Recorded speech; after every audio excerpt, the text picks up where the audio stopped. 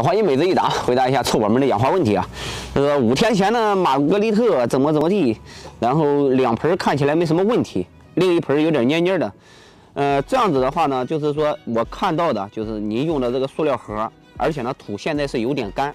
您任何时候啊，就是干了就浇，不干不浇，干透了呢，您也要给给一遍透水。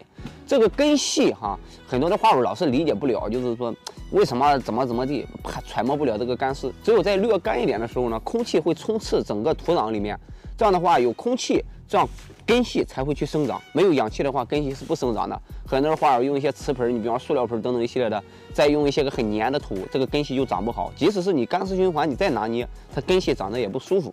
这个呢，没什么一个大的问题。你看另另外呢，中间这颗比较小，它水分挥发的没那么快。左边那一颗呢，您用的是个铁盆，它不是那种透明的，对吧？它的一个保湿效果稍微比您那个透明的要稍微好一些，这就是有点缺水的一个状态，这问题不大啊，问题不大。另外文竹的话，不要那么晒着了。稍微放到阴一点的地方，你那个文竹快挂了哈，再这样下去的话，好了，咱们看下一个，叫做月季叶子边缘泛黄枯萎是什么原因？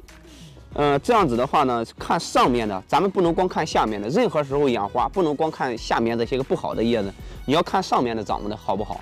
如果下面个别黄叶那属于太正常不过了，很正常的，因为它有顶端优势，它自然就会把下面的给代谢掉，好吧，臭宝，旧的不去，新的不来啊。现在话友说，请教一下，上个月买了一个月季，长出来短枝条，然后就盲芽了。这个慢慢长呗，没事，让它长一段时间，等到枝繁叶茂的时候，大家再去进行修剪。很多的花友在剪月季的时候呢，都操之过急，并不是说不能剪哈，就是大家在养护的时候呢，你尽量让它长到一定形态，就跟养猪一样，肥了再杀，是吧？你现在杀你，没意思，好吧？你等它再发育一段时间，不要妄下定论，好吧？再长一段时间，你养的还不错哈，养的还不错。尽量的加强一下光照，别的没什么事什么忙不忙芽的，这个抹不抹芽的，你让它长一段时间再说，好吧？先让它发育一段时间。老花爷，为什么我水培的花根不往下长，反而往上长？你知道为什么吗？很多的花友在水培的时候放的水太多，它水里面的氧气不够的时候，它就会在上面获取氧气。因为对根系有一个特点，它是去寻找水。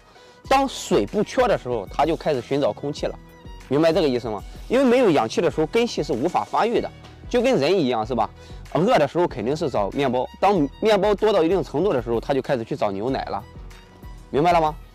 所以说你现在这个牛奶多，它现在找面包去了，就是这哎这么个道理就行了，简单的一了解，好吧？把这个水倒掉一部分，留一点就够了，不需要很多，干了以后再加一点，就那样子就养的会更哇塞。下一个花友说是绣球有点黄叶，还是水不够了。哎呦，黄个一个俩很正常。你在路上的折损，偶尔的一个两个的黄叶，这再次正常不过了。不要那么担惊受怕。如果说大面积的这种黄，肯定是有问题。小面积的一两个黄叶很正常。有的花友就很郁闷，说为什么我看人家大棚里面或者看人家那个花卉市场里面都那么漂亮，哼，黄的叶子早就揪了扔垃圾桶了。你去的时候也就刚巧了，你光看到一片好的了，没看到不好的。你去到任何一个花卉市场，任何一个摊位，你去看看它垃圾桶里面，如果没有黄叶子，你来找我，好吧？嗯，没事没事，臭宝，哎，长得挺好的，这不挺棒吗？挺好的啊。这老花姨，我家的安红，安红，俺想你。安红呢，也是。花瓣颜色又薄又浅，正常浅了好几个色度，是什么原因造成的？像咱们正常来说养花的话呢，呃，这种花开的不那么艳丽呢，一个是缺光，还有一个呢就是缺乏一些磷粉，呃，这种时候呢，它就会显得不那么哇塞，是吧？说白了呢，就是差那么点意思。好了，今天的养花问题呢就到这儿了，觉得不错记得点个赞。有其他养花问题呢，可以视频下方留言。我是老花一，养花最专一，咱们下期再见，不见不散，拜了。